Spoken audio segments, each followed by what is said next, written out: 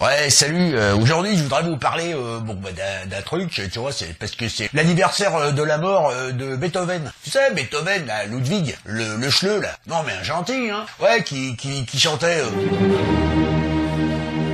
ah, J'adorais, ça c'est pas de la musique de Tarlous, hein. Hein, ça c'est pas du Viennet ou du Maître Gims. Hein.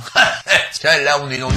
Hein. Et c'est con, parce que tu vois, tu es allé à la FNAC l'autre jour euh, pour chercher son dernier album, euh, Ludwig. Putain, rien du tout quoi. On trouve que des vieux trucs quoi, que des, des vieux... Pas, il a, il a pas fait de nouvel album, dis donc. Rien du tout. C'est con, putain, moi je l'aimais bien ce mec. Hein. Mais enfin, il a quand même fait une connerie, hein, euh, le Beethoven. Hein. Il aura jamais dû quitter les Beatles. Jamais.